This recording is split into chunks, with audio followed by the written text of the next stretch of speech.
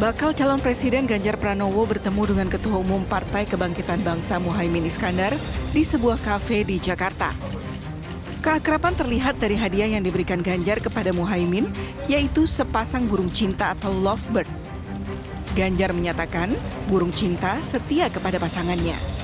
Jika ada salah satu yang mati, maka pasangannya bisa ikut mati. Pertemuan Ganjar dan Muhaimin disorot karena PKB, Partai Golkar, dan PAN minggu lalu telah deklarasi dukungan ke Prabowo Subianto. Sejumlah spekulasi pun timbul pasca Ganjar dan Muhaimin bertemu. Muhaimin dinilai ingin tetap berhubungan dengan gerbong PDIP dan membuka kemungkinan untuk berkoalisi. Namun, ada yang menganggap langkah Caimin bertemu Ganjar untuk menaikkan posisi tawar dirinya sebagai cawapres Prabowo Subianto. Tim TV One mengabarkan.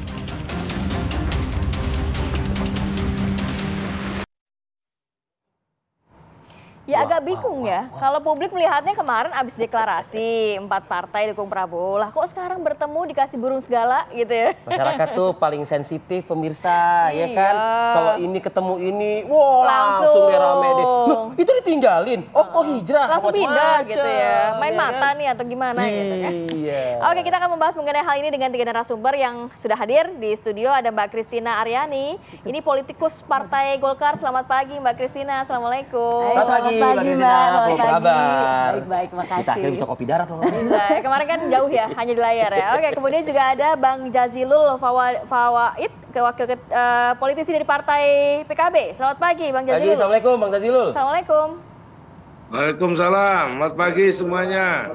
Apa kabar? Pagi semuanya. Baik, alhamdulillah. Kemudian juga ada Pak Wihadi Wianto, ini politisi Partai Gerindra. Selamat pagi. Selamat pagi Pak Wihadi, Pak Assalamualaikum. Selamat pagi. Selamat pagi, Waalaikumsalam. Selamat pagi semuanya. Oke. Wah, Saya mau ke mungkin Pak Jazilul dulu ya. Ah, taruh, taruh. Saya harus disclaimer dulu nih. Kenapa tuh? Kuning ada. Ah. PKB ada. Ada. Gerindranya ada. Ah, birunya? Saya deh mewakili lah. Baju kita biru hari ini soalnya ya. Oke Pak Jazilul, ini sebenarnya kemarin pertemuan kok jadinya publik agak menerka-nerka. Ini dikasih burung lovebird merah hijau, nampaknya ini ada main mata, akan pindah ke sebelah atau gimana nih? Ya, kalau publik mah terserah mau menyampaikan apa. Yang jelas selama ini Gus Muhaimin dan PKB kalau membangun koalisi selalu mengedepankan komitmen dan kesetiaan. Jadi kalau dapat burung dari Pak Ganjar ya mudah-mudahan dipiara sama Pak Muhaimin supaya hidup burungnya. Apalagi burung lovebird. Nah, yeah. warnanya hijau merah. Nah, publik lah yang nanti akan menilai sesungguhnya apa yang eh, menjadi apa makna dari pertemuan itu. Yang jelas Gus Muhaimin dengan Pak Ganjar ini teman lama. Dulu sama-sama kuliah di UGM. Jadi saya menganggapnya ini pertemuan nostalgia saja. Sambil minum teh, ya kalau bahwa ada burung, ada pelambang tertentu, ya namanya tahun-tahun politik selalu ada pelambang tertentu. Dan gitu ya. eh, kami bersama Gerindra sudah paham apa yang dilakukan masing-masing. Ada saatnya Pak Muhaimin bertemu teman bersama-sama seperti ketika menerima dukungan dari Golkar dan PAN ada saatnya Pak Prabowo misalkan sendiri ketemu orang, ada saatnya Pak Muhaimin bertemu orang, apa namanya tokoh yang lain termasuk Pak Ganjar. Saya pikir itu sudah menjadi bagian yang apa namanya saling disepakati bersama Gerindra dan juga masing-masing diperbolehkan untuk melakukan komunikasi. Jadi sesungguhnya eh, pertemuan Pak Muhaimin dengan Pak Ganjar bukan main mata, publik juga tahu kok. Akhirnya ya. diunggah di Instagram, di media sosial itu artinya publik semua tahu, bukan sesuatu yang ditutup-tutupi. Bang Zazilul. Bahwa agendanya misalkan belum mengarah, ya. Ah, ini Bang, yang saya mau tanyakan, digodanya uh, selain diisikan tehnya, dikasih burung dengan warna merah dan hijau, Apalagi yang ditawarin, Bang Jazilul? Yang jelas eh, Mbak Puan mengatakan nama Gus Muhaimin masuk di lima nama cawapres yang mau dipasangkan dengan Pak Ganjar. Jadi eh, pertemuan kemarin mungkin publik mengkaitkan soal itu ya, soal peluang atau nama Gus Muhaimin masuk mendampingi Pak Ganjar. Dan itu sah-sah saja namanya juga publik yang menilai. Kalau soal nuang teh, soal kasih burung lovebird, ya bertemu teman lama saya pikir itu hal yang wajar saja untuk mengakrabkan kembali sekaligus memberikan doa masing-masing kan. Kan mudah-mudahan sama-sama cari urusannya. Ya, memang kalau kalau wajar-wajar saja sih buat yang pelaku ya wajar-wajar saja ya. Tapi buat yang Rekan. melihat, menonton, mengetahui, duh sakitnya itu emang bener di sini. Saya mau ke Pak Wiyadi, eh, Bang Iya, Wiyadi. iya, iya, iya. Iya. Sakitnya di sebelah mana Pak Firly? Sakitnya di sebelah mana? Soalnya kan kita sempat ingat tuh Pak Prabowo bilang, Nggak ada yang- Caimin, jangan ke mana-mana ya gitu. nggak ada yang sakit. Kita semuanya itu Oh, eh, dalam kebersamaan yang solid dan kita selalu saling komunikasi. Dan saya kira eh, pertemuan itu juga adalah pertemuan yang eh, kunjungan biasa, silaturahmi kebangsaan saja. Jadi saya kira itu adalah sesuatu hal yang biasa. Jadi kita melihatnya memang itu tadi eh, Gus Jazilul mengatakan bahwa eh, pertemuan-pertemuan itu bisa dilakukan. Pak Prabowo juga ma- apa, eh, bertemu dengan bahkan Pak Prabowo bertemu dengan Ganjar juga sudah eh, beberapa kali ketemu dengan Ganjar membahas isu kan itu kan sama aja ya kan. Jadi saya kira Oke. pertemuan-pertemuan ini jangan dikaitkan adalah sesuatu pertemuan yang mengarah ke mana. Jadi ini semuanya sharing adalah eh, koalisi yang kita sudah bentuk ini adalah koalisi yang solid gitu kan apalagi dikait-kaitkan dengan hadiah macam. mungkin hadiah lovebird-nya itu adalah menunjukkan bahwa eh, Pak Agus Muhaimin ini adalah eh, untuk menyintai koalisi yang barunya yang dengan lovebird itu lebih lebih cinta lagi gitu.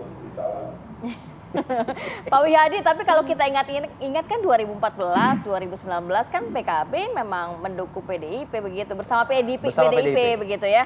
Ka- Kalau kalau kali ini jangan-jangan cinta lama belum kelar nih, pindah ke pindah juga ke sebelah takut nggak nih Gerindra nih? Jus- justru koalisi pertama kali yang dengan Gerindra itu adalah dengan PKB. Nah ini menunjukkan bahwa koalisi Gerindra dan PKB itu adalah koalisi yang dibentuk sangat-sangat solid dan ini adalah eh, kebersamaan yang bersama-sama yang sudah kita bentuk jadi untuk ke depannya gitu kan. Jadi ini adalah eh, bukan kita bicara masa lalu, kita bicara masa depan. Oke Pak Widadi. Saya juga ingin melibatkan dong ya. Karena kan kalau PKB dikasihnya burung kan. Kalau Golkar kasih bunga ya. Eh kasih bunga Golkar ya ya justru ya. bunga. Kasih bunga ya. Kasih bunga. Katakan dengan bunga. Waduh. Mbak Kisina, Ya. ditahan dulu ya. Kita next segmen ya. Oke. Kami akan kembali saat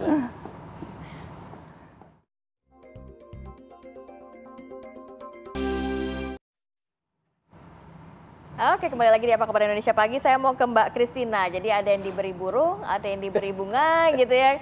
Golkar baru gabung bersama KKIR dukung Prabowo. Tapi melihat salah satunya sudah ada yang bertemu lagi dengan eh, baca pres dari partai lain. Ini gimana tanggapannya nih dari Golkar sendiri? Oke, jadi sebetulnya kami melihat ini cukup senang ya. Ya. Jadi, Karena? uh-uh, jadi uh, kontradiktori dengan yang mungkin dipikirkan orang kok seperti itu. Enggak, sebetulnya ini menunjukkan bahwa politik di Indonesia ini sudah sudah lebih dewasa. Jadi saling bertemu, bersilaturahmi, mempererat persahabatan itu sesuatu yang baik. Uh, kami tidak ada masalah dengan itu. Justru ini menunjukkan uh, kedewasaan bahwa politik itu persaingan tidak harus bermusuhan, Mbak. Ya. Ya kan? Ini bisa dijalankan dengan lembut, soft politik istilahnya. Kalau tadi disampaikan ada burung ya, lovebird warna merah. Ini juga sebetulnya kami lakukan beberapa waktu yang lalu ya. Eh, Bapak Erlangga Hartarto memberikan Ibu Puan Maharani eh, buke mawar, mawarnya Tapi itu kan merah dan kuning. Enggak, tunggu dulu. Jadi ini sesuatu yang baik gitu. Karena pimpinan parpol, tokoh parpol menunjukkan persahabatan diskusi ini. Baru-baru ini siapa lagi yang bertemu kemarin? Ibu Puan bertemu Ih. dengan Pak Luhut, Iya. ya kan? Iya. Jadi saya rasa ini sesuatu yang baik dan ini juga bisa menunjukkan kepada masyarakat ya bagaimana eh, politik di Indonesia bisa dijalankan dengan dengan inilah kekeluargaan lah ya dengan seperti itu. Senangnya Pak Tito mungkin juga karena salah satu eh, wah hilang nih satu saingan nih gitu misalnya. ini tanggapan siapa ini?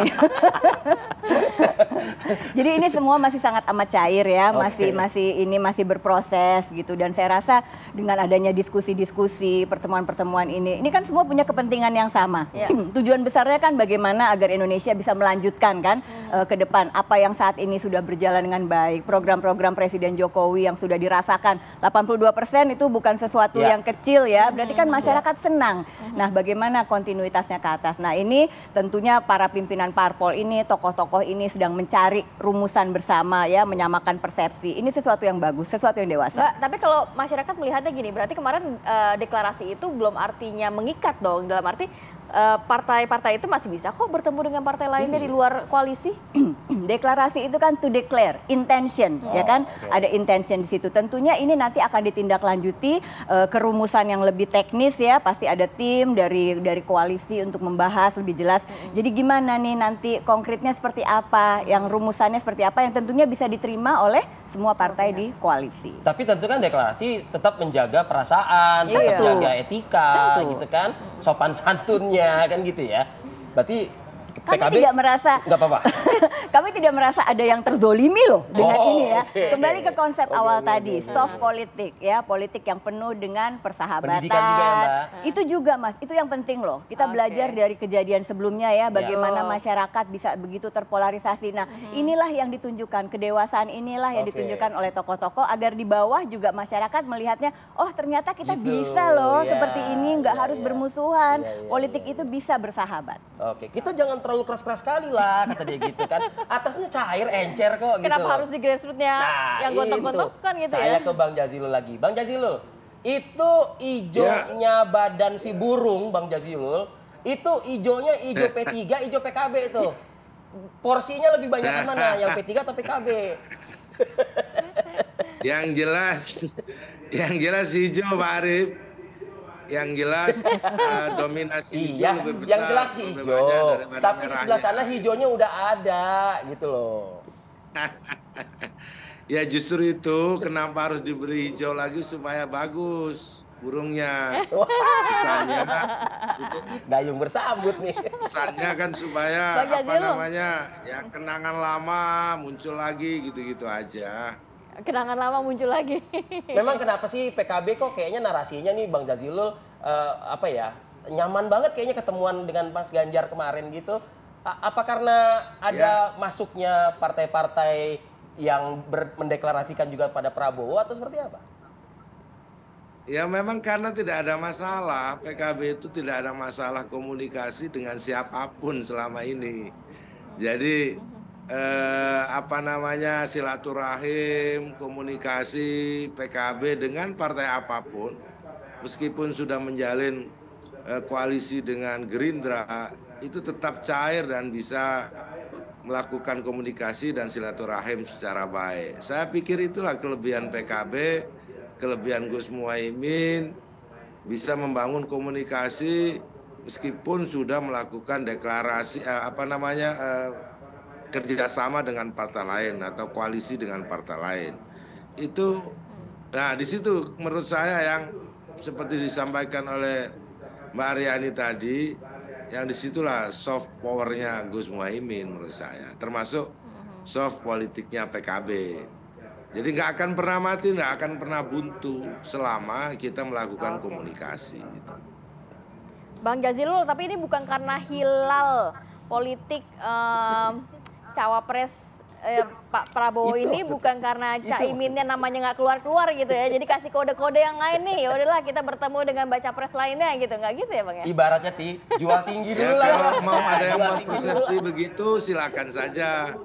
Kita nggak bisa menghalangi siapa pun yang melaku- mau melakukan persepsi ya bahwa karena hilal karena apa yang jelas memang kembali kepada kontrak politik dengan Gerindra memang PKB dan atau Pak Prabowo dan Gus Muhaimin lah yang akan memutuskan. Jadi apa pun kata publik, apa pun pendapat orang, tentu kita harus kembali kepada gentleman agreement.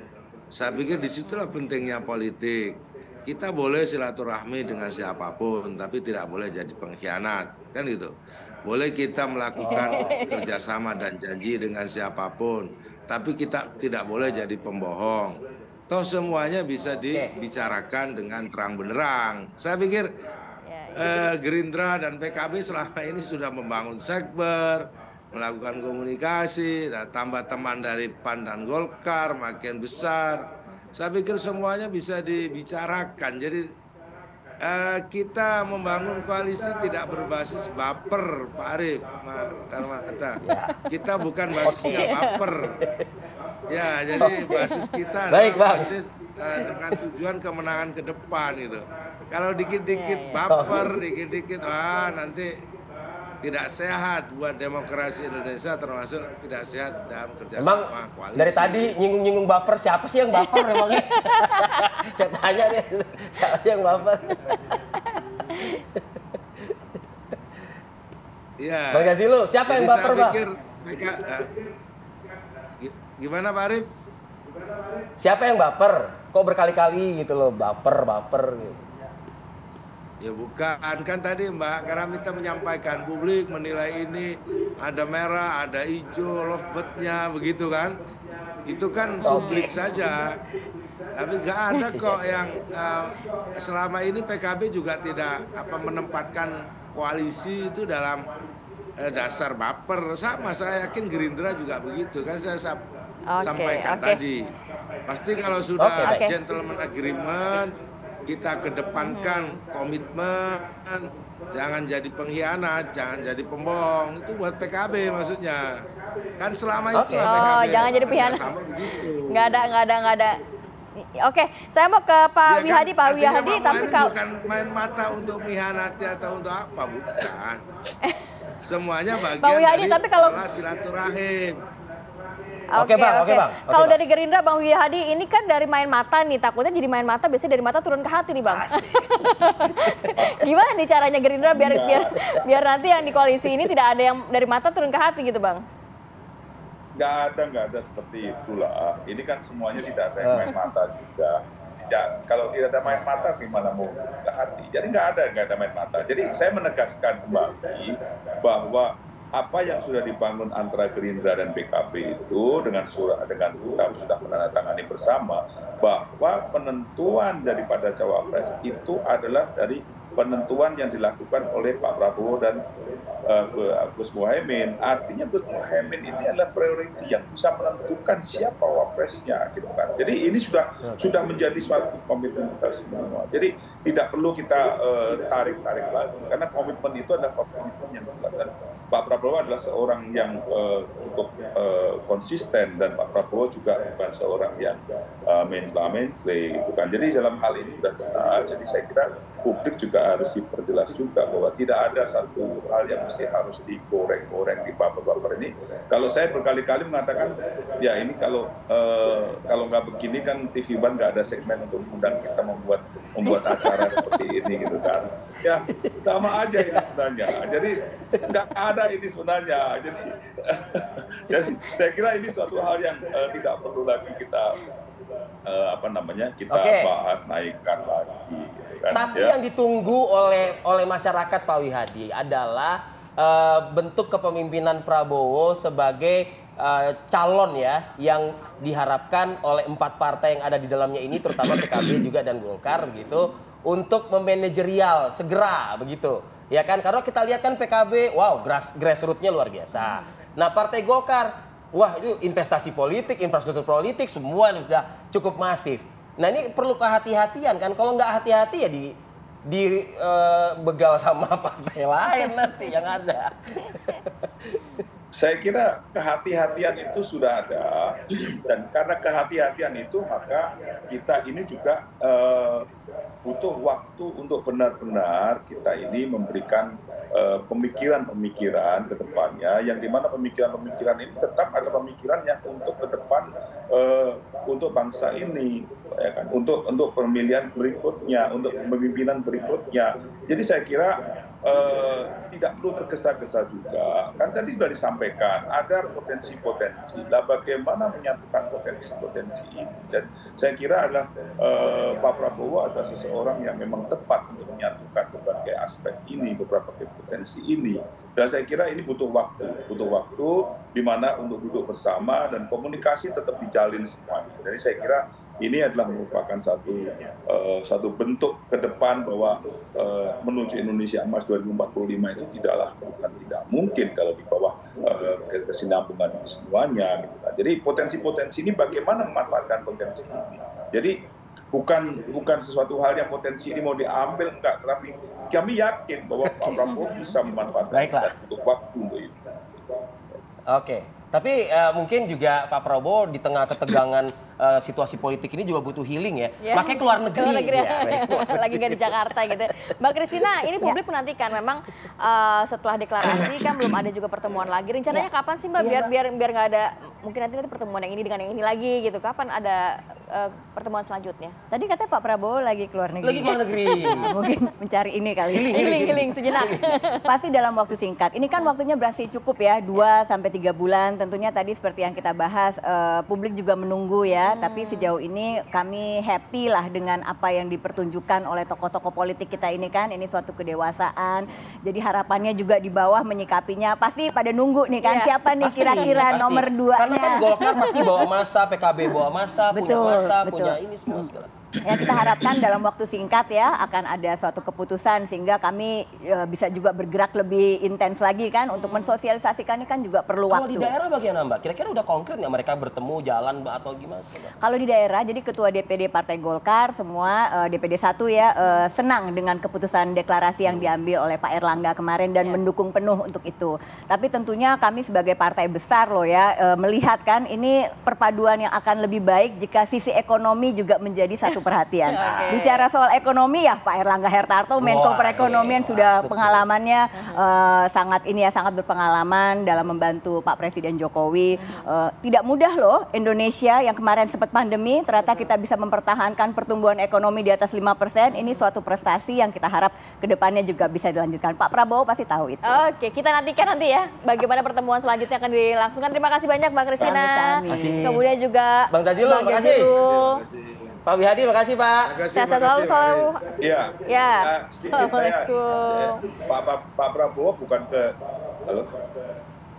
Ya, ah. Ayo, gimana, gimana, gimana? Bang? Iya Pak Prabowo bukan healing. Pak Prabowo dalam melakukan kunjungan ke luar negeri tetap itu adalah merupakan kunjungan daripada dinas Kementerian Pertahanan. Jadi bukan healing ini. Jadi jangan salah mengerti gitu Oh. kan. Kunjungan-kunjungan itu. Oh iya, iya, iya, iya. Iya. Nanti dikira healing Oke, terima santai-santai kasih. lagi. Enggak, enggak ada healing itu. Ya. Siap. Beredar siap. di medsos kok itu kabarnya. Tapi sudahlah. Terima kasih Terima Pak kasih Wihadi dan juga Bang Zazilul. Mbak Aryani, terima kasih. Terima kasih.